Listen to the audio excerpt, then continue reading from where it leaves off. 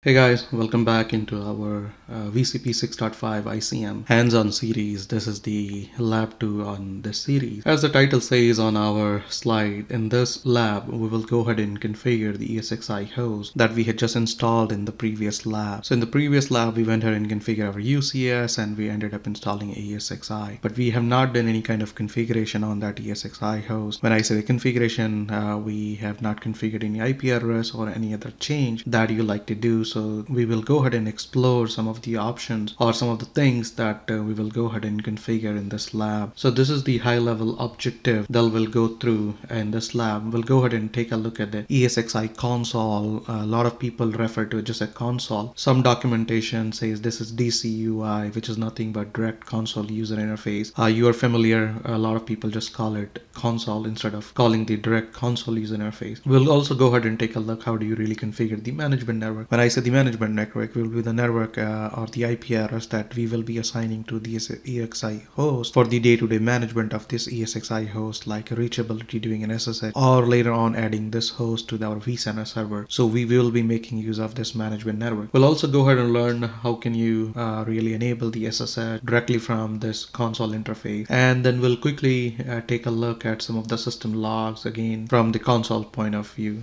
So without further ado, uh, let's go ahead and jump back to our ESXi console. In the last lab, we had done the install after installing or the reboot. We are sitting on this prompt. So now let's go ahead and start configuring uh, our ESXi host. So there are quite a bit of few options and on the bottom, if you see on the left hand side, it says, hey, F2 customize system or view logs. If you want to do any kind of customization with the ESXi host, just simply go ahead and hit the F2 key. So now let's go ahead and hit the F2 key on the keyboard. You are presented with your authentication. Uh, so you can see the default username is root. So during the install of the ESXi host, ESXi creates a, a default user by name root. Uh, you cannot change that during the installation. So remember the password we specified during the install, that was the password for this root user. So now let's go ahead and supply that password over here. And once you're done, just simply go ahead and press enter. And now uh, we are into the DCUI or simply call as console. So within this console, there are quite a bit of few of options. The default, uh, our cursor is on the configure password. Let's say for some reason you want to change the password uh, that you supplied during the install or later any time you can come back to this option and change the password. To configure any kind of a management network, you would uh, scroll down to configure management network is the option. If you need to restart your management network, you can go ahead and do it from here. If you need to take a look at your system logs, uh, you can go ahead and uh, do it from here. There are some troubleshooting options and other things uh, that we can take a, look so the first thing we'll go ahead and uh, do is we'll go ahead and configure or specify or assign an IP address to the ESXi host. Before I go ahead and assign an IP address, I want to make sure that the IP address that I'm planning to use, it's not being assigned to any of other my device and that IP is not reachable. And as you can see, I'm trying to reach this IP address and as of right now, this IP address is not reachable. So that's good. So that means I can go ahead and make use of this IP address uh, for this ESXi. So to assign the IP address, we need to go back into the console, uh, go to the configure management network. And once you're on this option, just simply go ahead and press an arrow key here. On the top of the screen, you can see it says configure management network, and there are quite a bit of options available here. Network adapter. Network adapter simply refers to the physical NIC list. If you want to see how many NIC are on this uh, ESXi host, you can go to network adapters and simply go ahead and press enter. In my case, there are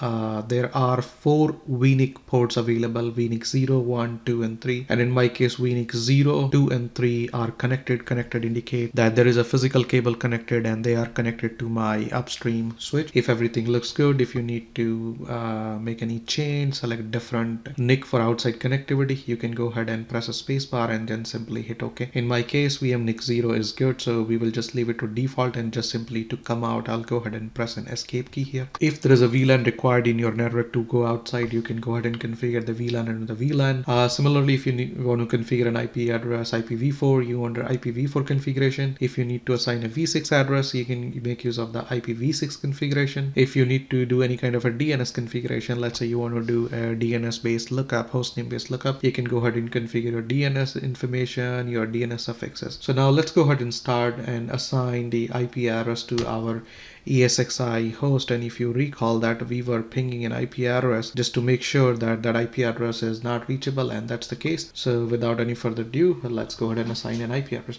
And by default, you can see the system is configured to use a dynamic IP address. That means try to get an IP address from a DHCP server if there is one in your environment in this environment I don't have a DHCP so I will be assigning a static so I'll come down to the next option press the spacebar to select this option and now we have these field highlighted so now let's go ahead and configure an IP address for your ESXi go ahead and configure a mask for this ESXi and last but not the least is go ahead and configure the default gateway and when everything is done as it says hey simply go ahead and press enter for ok so I'll go ahead and press enter ok now once the IP address is assigned? You can see that IP address becomes visible on the right hand side of the screen. Uh, but this IP address changes has are not being applied. If you want to save these changes just simply go ahead and press one time escape as on the bottom right it says. If you press it will do an exit. But in this case we made some changes. So let's see what happens. When you pre press escape only once you will you are presented with a dialog box that says hey can configure management network confirm. That means we have made some changes to the uh, management network and this dialog box saying okay are you really want to apply those changes? And if you want to apply the changes it needs to restart the management network. And that's the case we want. For that we simply can go ahead and press on Y on our keyboard. If the changes you applied are incorrect or you need to make any change you can simply go ahead and do cancel or no. But in my case it's okay so I'll go ahead and simply press Y here. And if everything went well and if I have a good connectivity I should be getting a reply back from my ESXi host. And as you can see, we are getting a reply back. That means that IP address is reachable. We can reach the ESXi host onto our network using this IP address. So that looks good. And similarly, if you want to assign any IPv6 address from the same page, you can go ahead and uh, do that. So with that now, let's go ahead and uh, see how we can enable the SSH. Uh, working from the console is good, but it's not convenient every time because we have to launch the KVM console, go to the CIMCs. Uh, so most of the time, it's good to have SSH access enabled to your ESXi host. If you're doing any any kind of troubleshooting that becomes uh, very handy. So to enable the SSH uh, within this console we have an option that says troubleshooting options. So under the troubleshooting options, if you can see on the right hand side, it says, hey, to view various troubleshooting mode options like enable ESXi shell, enable SSH and restart agents. Those are the options available under the troubleshooting option. And that's what we want. So once you have highlighted troubleshooting options, just simply go ahead and press enter here. And under this, there are few more options as we read in the description. Hey, enable ESXi shell, enable SSH, modify ESXi shell and SSH timeout and other things. So in this case, we are interested in enabling the SSH shell. By default, the SSH is disabled. So if at this stage, if I try to do an SSH to this ESXi host, we will not be able to do that. And just to confirm that, let's go ahead and launch the PuTTY and try to connect to the above IP address that we just assigned to our ESXi host. And we should not be able to connect to the ESXi host. And that's the reason because the ESXi SSH is disabled. So now let's go ahead and enable the SSH to simply enable the SSH just simply go ahead and press enter on this option that says enable SSH once you're done by default now it says okay hey SSH is enabled right now. And again, just to simply come out from this page, uh, go ahead and press an exit key or the escape key and you are out. In the case of when you are enabling any troubleshooting option, uh, there is no confirmation dialog box is presented. So now let's go ahead and try to reconnect to our ESXi host using the SSH.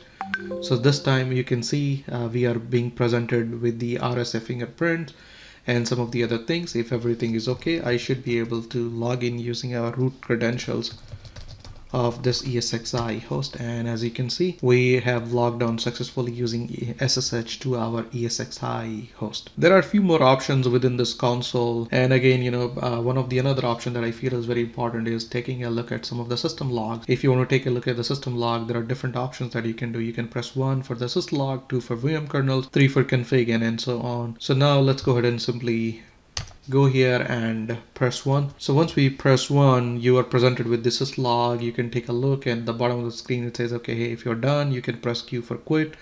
Or if you need some more help you can press H here. If you need to scroll down you can press the space bar on your keyboard to take a look at for the logs. If everything is good uh, then you can just simply press Q and come out from the uh, logs view and you are presented or you are back into the console. So within this console, there are uh, quite a bit of uh, good options. Once you are done, you can just simply press escape and come out to the main screen. Now on the main screen, you can see, okay, the IP address that we assigned to our ESXi host and some of the other details. Again, if you ever need to customize, just simply go ahead and press F2. If you need to restart or shut down the ESXi host, you can just simply go ahead and press F12. So hopefully uh, you like this lab and thank you so much.